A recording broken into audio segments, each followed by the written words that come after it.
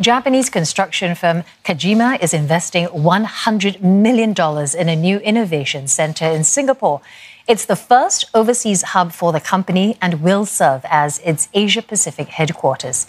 The center is also in line with the government's push for productivity and R&D within the construction sector to help it recover post COVID-19. Spanning over 13,000 square meters in Changi Business Park, the Kajima Global Hub is expected to be completed in the next three years.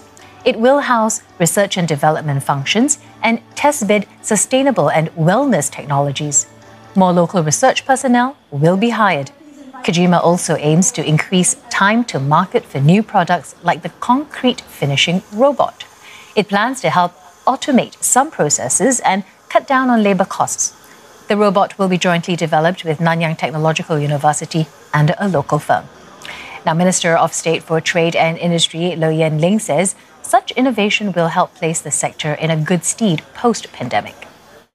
Construction firms that seize these opportunities to automate and digitalize their processes while upskilling young workers to adapt to new technologies and improve productivity will emerge stronger.